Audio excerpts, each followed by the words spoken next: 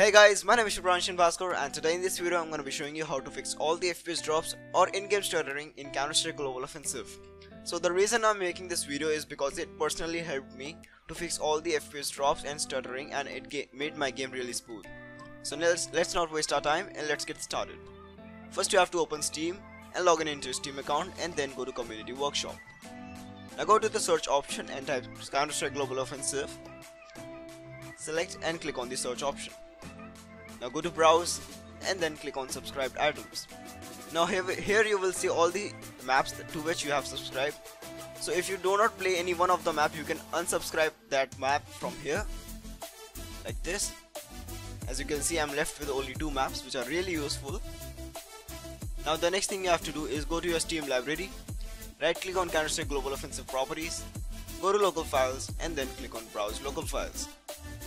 Now go to CSGO folder go to maps, go to workshop and what you have to do is select every folder inside it and delete it. Like this. Now go back, go to graphs folder, go to workshop and delete any folder inside it. So what it will do if, if you will start Counter-Strike Global Offensive again, sorry, it will automatically create new folders by which you can fix all your FPS drops and in-game stuttering. This is a really weird method but it did fix my error. So that's it for this video guys. I hope you liked it. Please like, comment and share it with your friends. Have fun. Bye bye.